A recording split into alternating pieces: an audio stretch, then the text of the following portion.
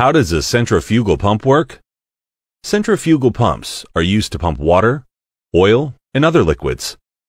Let's try to understand why these pumps are designed to carry out the task of transporting liquids successfully. The main elements of a centrifugal pump are the casing and the impeller, which drives the liquid. The impeller is mounted on a shaft.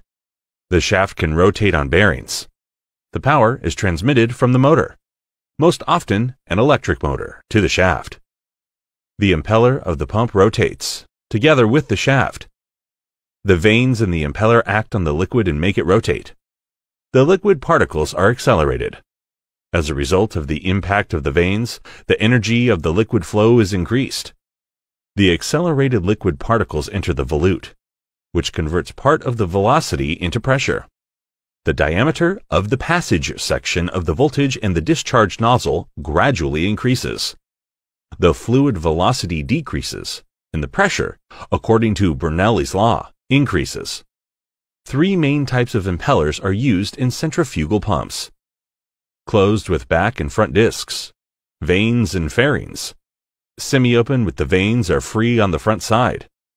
Open with the vanes free on both sides. If bearings support only one side of the shaft, the pump is called a cantilever pump.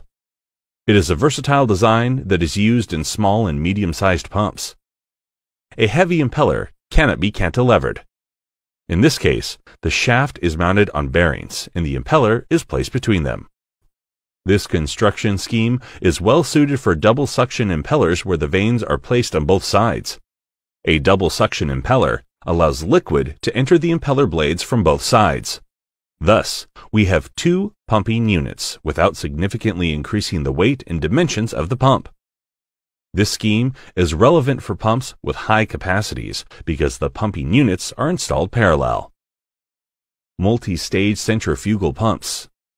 By installing pumps in series, the head of the liquid can be increased in the system. Pumps installed in series can be combined by placing several impellers in the same casing. The liquid will go from the first impeller to the second one, from the second impeller to the third one, and so on.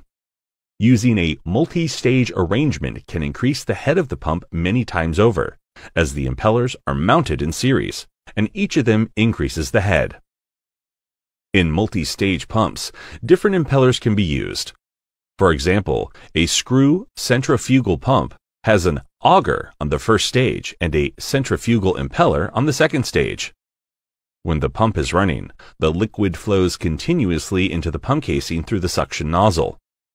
But what happens if there is no liquid in the pump?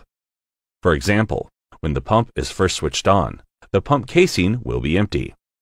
For the liquid to fill the pump, the pressure in the pump casing has to be lower than the atmospheric pressure.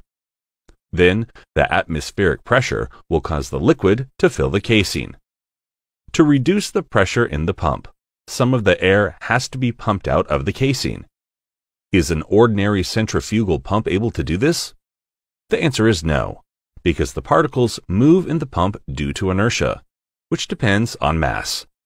The mass of air particles is much lower than that of water particles, so it is impossible to pump air at speeds that a centrifugal pump operates at. For this reason, centrifugal pumps must be primed before switching on, either through a special channel in the casing or through the discharge nozzle.